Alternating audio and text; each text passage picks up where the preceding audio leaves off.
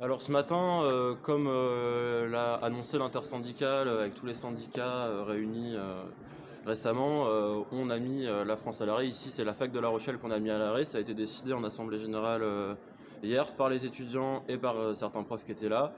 Et donc du coup, euh, on a euh, hier soir euh, occupé un amphithéâtre de l'université.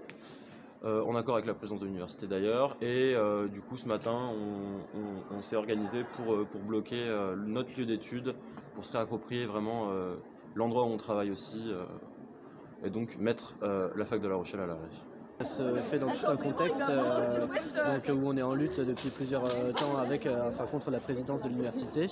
Et donc euh, nous, notre syndicat, donc Solidaire étudiant, a demandé une dispense d'assiduité euh, les jours de manif pour permettre aux étudiants euh, d'aller en manif, ainsi que la FSU, euh, le syndicat des profs, qui a demandé euh, carrément la bannisation de ce jour. Et la présidence a totalement refusé, donc euh, on a pris les, les devants et, et donc on a décidé d'occuper la fac. Et euh, il y, a, enfin, y a des dizaines de facs qui sont occupées aujourd'hui. Et donc euh, dans, dans le cadre de la mobilisation euh, appelée par l'intersyndicale nationale, avec pour mot d'ordre le 7, on met le, le pays à l'arrêt. Et donc euh, la fac est mise à l'arrêt euh, cette journée.